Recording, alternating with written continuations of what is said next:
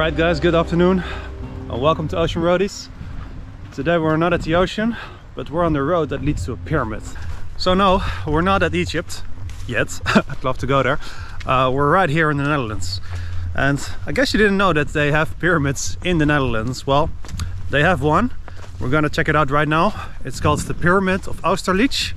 It's located in the middle of Netherlands, close to Amersfoort. In the center of Netherlands, nice weather and autumn holiday in Holland. Thank you, Marino. Let's go all the way to the top and see what the view is like from there. Let's go.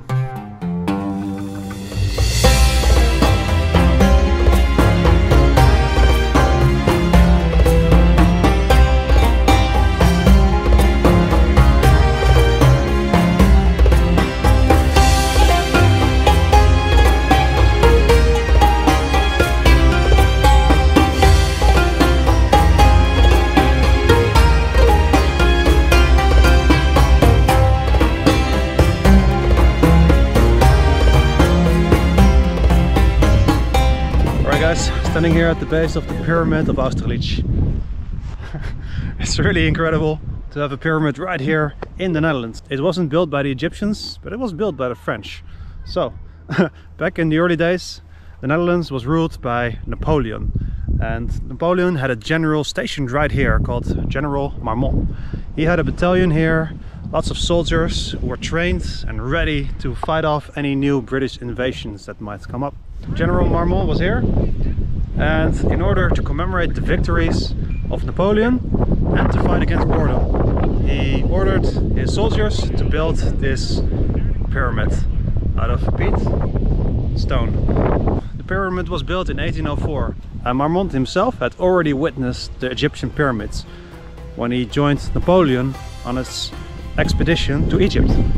So inspired by the pyramids of Giza being stationed here in the Netherlands, he ordered his generals to build this wonder and it still stands to this day, even though it needed quite a bit of renovations. So let's see what it's like at the top. Let's climb this mountain. All right, here we go. Let's climb to the top. Woo! Lots of stairs. okay, maybe not that many stairs. You know, we climbed a few mountains before this little pyramid, but still, you know, the Netherlands is one of the most flat countries ever. Any type of thing that goes up, that's already nice. Oh, what a journey! Marino, how much longer? Five kilometers. No, I think we're already halfway. Too bad. I think we're gonna make this one. Let's do it. There must be a good view like a drum. Do do do.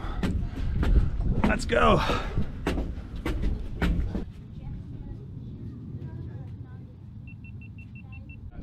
Marina, we made it.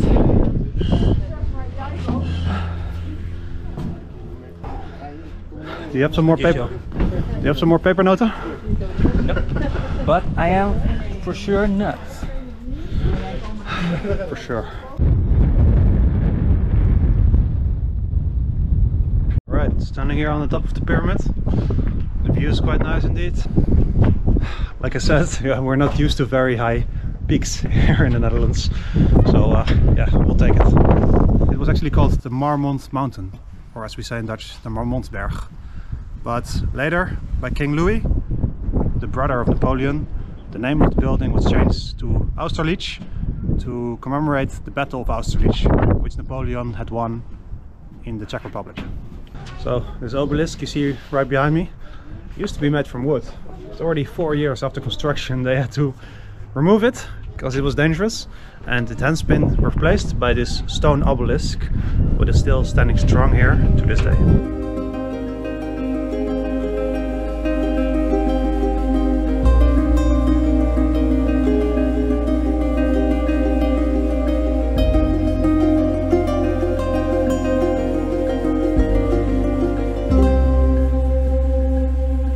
So Marino, did you enjoy this uh, visit to the pyramid?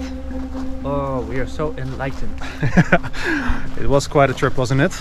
Maybe next time we uh, try to visit the pyramids of Giza in Egypt. Yeah, but don't forget the pyramids of Mexico. Oh yeah, that was quite a nice trip as well. So, awesome guys. Hopefully you enjoyed this adventure. If you did, please give a thumbs up. Subscribe for more adventures. And I will see you on the road. Cheers!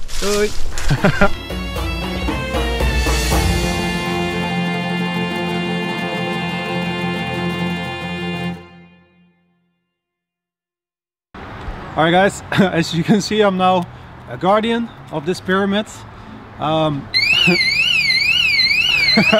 alarm is going off. I gotta check it out.